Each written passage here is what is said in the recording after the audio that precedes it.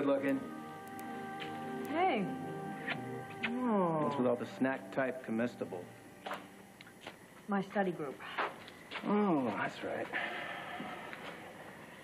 We are cramming for a psychology quiz. Yeah, well, no fair having more fun than me. Oh, yeah. Pavlov and his slobbering dogs are a laugh riot. Yeah? How goes the paper chase anyway? Huh? Well, let's put it this way. Yesterday, I quizzed Junior on his fractions.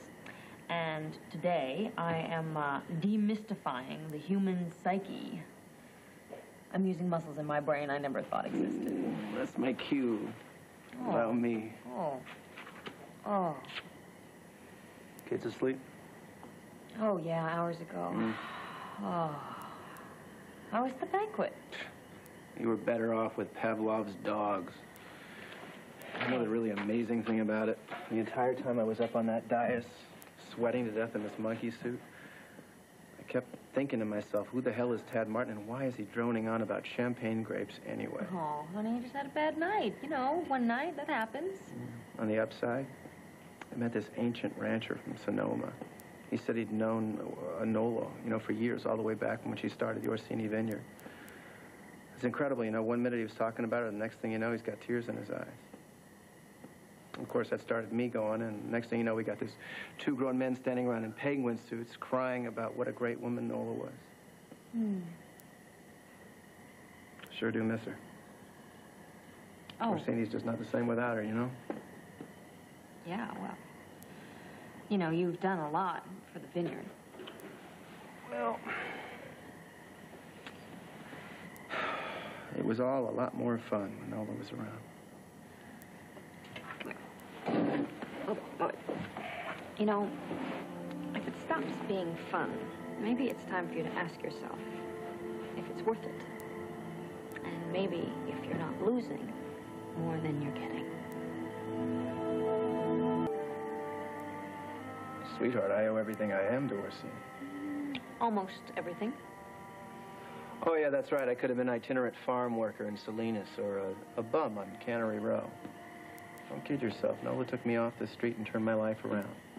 She gave me a purpose, a vision, and somebody I could be proud of when I grew up. I'm proud of you. Well, because of what Nola gave me. In case you haven't forgotten, vintage Thaddeus wasn't mobile material. Honey, you know, I would be proud of you if you were an itinerant farm worker or a beach bum. The thing is, is that, you know, we miss you. You know, Junior and Jamie and I, you're so busy all of the time. You're always gone. And poor Jamie, he's got to make an appointment with you practically to have some sort of quality time with his dad. no, Three weeks sweetie, in I'm advance. I can't help it. I'm spread thin. There's nothing I can do about it. I mean, after all, Erica's nationwide tour kicks off tomorrow. I got power suits pressed and ready to go from here to Napa. I just wish Nola was around to see how much Orsini has grown. You know what I wish? I wish that she could be here and hold her grandson. And to see how great you are, Junior and Jamie. Nola just wanted you to be happy. That was her dream for you. Hello? Dixie, hey, it's Dal. Oh, hi, honey. Where are you? I'm in Pine Valley. Our flight just arrived. How was Florida? It's been a sad couple of days. Dr. Cab, how's um Kendall doing? Uh, she's she's pretty tore up. Well, listen. Why don't you just stay put? Uh, Tad and I'll come and pick you up. Oh, no, you can't leave the kids. No, it's Dixie. okay. It's okay. Petra is here. She's gonna spend the night. It's late though. No, just stay put. Tad and I will be there soon to pick you up. Okay, honey? Okay. Bye. Now, before you start saying anything, before you start yelling at me, Dale is my brother. He and Kendall have been through a very difficult time, and I don't think people in mourning should have to go to the baggage claim and have to go pick up a taxi in the middle of the night. Now, mad at me. No, I'm not mad at you. How could I possibly be mad? You're just being you. Sweet, wonderful, generous you.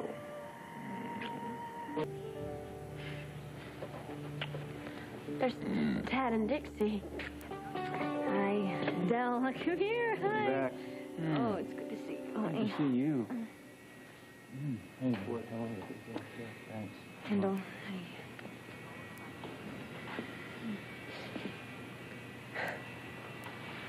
What What are you guys doing here? Well, we thought a ride home with some friends would beat a daredevil cab drive with a stinky old cab driver. Yeah, Martin Livery. Curb to curb service. Hell, I'm even dressed for the job. I'm awfully sorry to hear about your dad. I am too. And, um, did your mom get our flowers? Yes, they're beautiful. Thank you. You know, I really, um, I'm not very good at this. I don't exactly know what to say, but, um, I'm sure it's pretty depressing, um, to think about going back to the Pine Cone to stay. So Tad and I thought that maybe you'd like to come back to our house and stay with us for a little while. No, I don't want to impose. No, it's not a problem at all. Really, we have tons of room. No, that's a lot of trouble. No, it's not. But it'll make you feel better. We'll put you to work. Cleaning dishes, scrubbing floor. Come on, help me with the bag.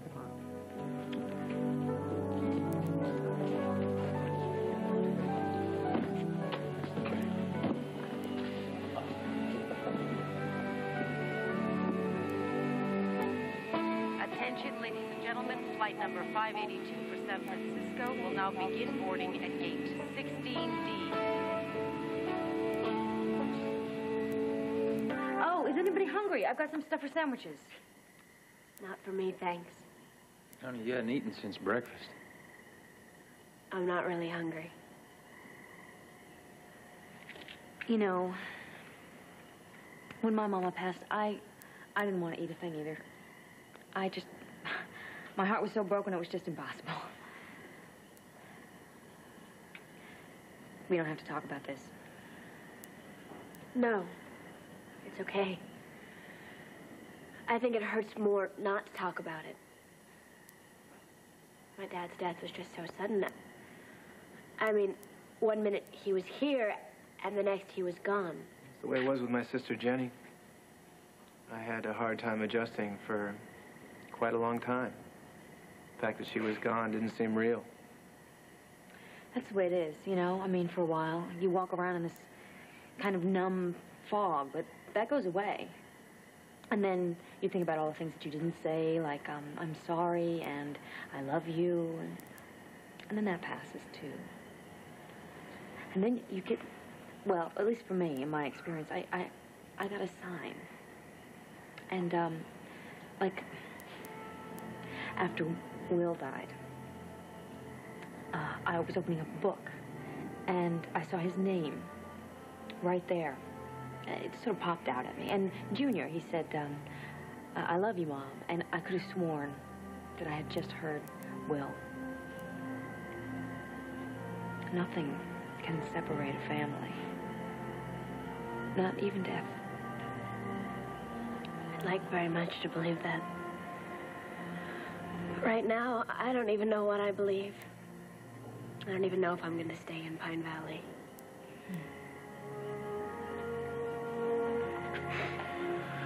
Well, honey, you don't have to decide anything tonight. You need some rest. I don't think I could sleep. You know, after, um, after my mama died, I didn't want to sleep because I didn't want to dream. I didn't want to feel all the pain, you know, by remembering her. But then this wonderful thing happened. I began to dream about her, and it was like a wonderful visitation from an old friend. And, uh, she sort of stayed with me the whole day.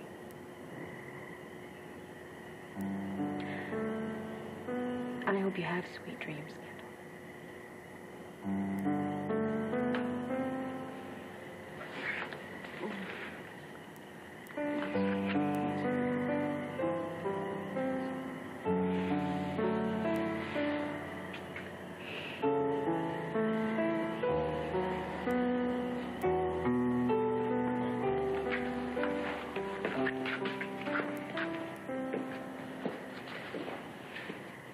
what? What are you looking at? An angel. Oh, please stop. I'm serious. You pulled off a minor miracle just now. and handed it to her gift wrap. Look, I just didn't want her to feel like she's alone. Well, you did a lot more than that, honey. You made her feel at home. Like she belonged here. Well, I did it for Dell. Because he obviously loves her.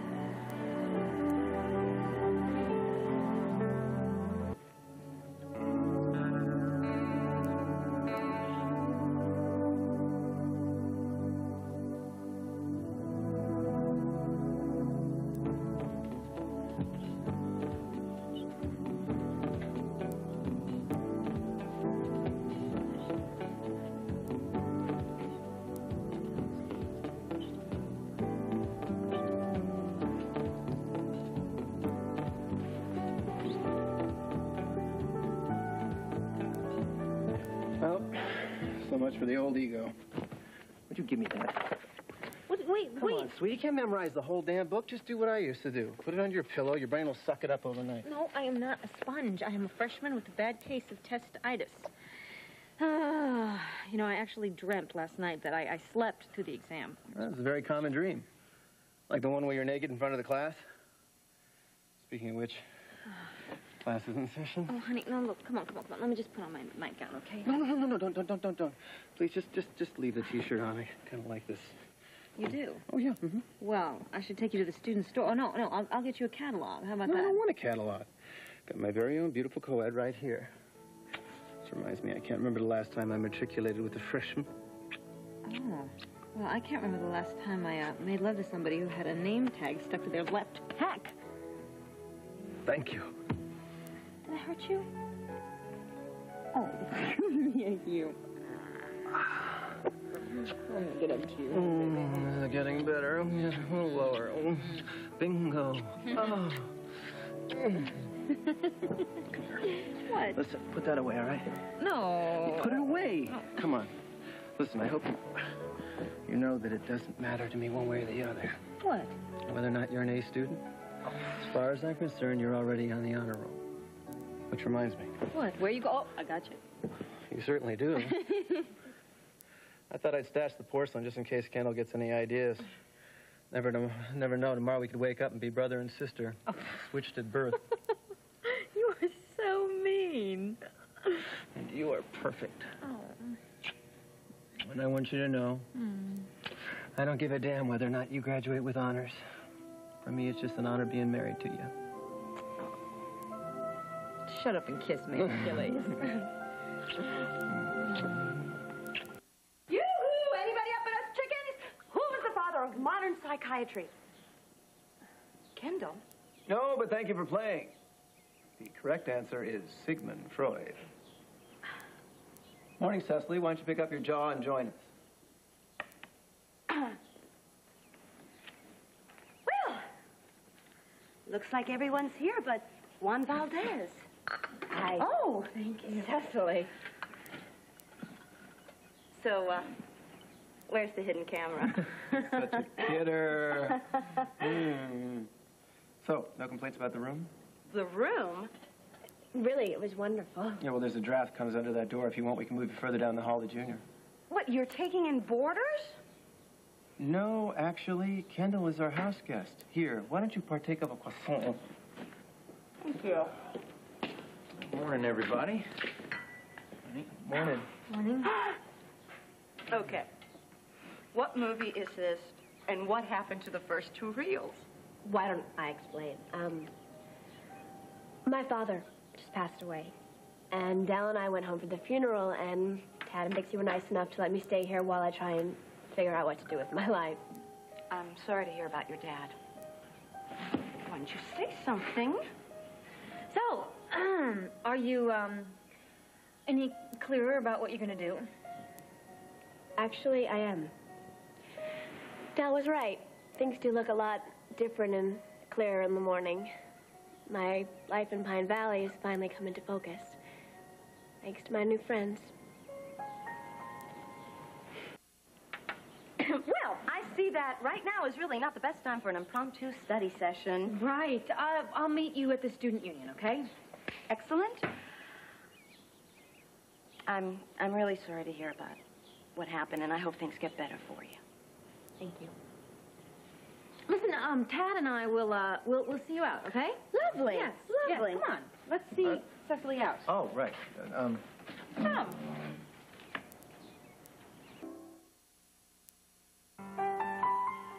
Tonight, when the Taylor's house guest has a dilemma, he goes looking for advice from an older brother type. Problem is, his older brother is Tim.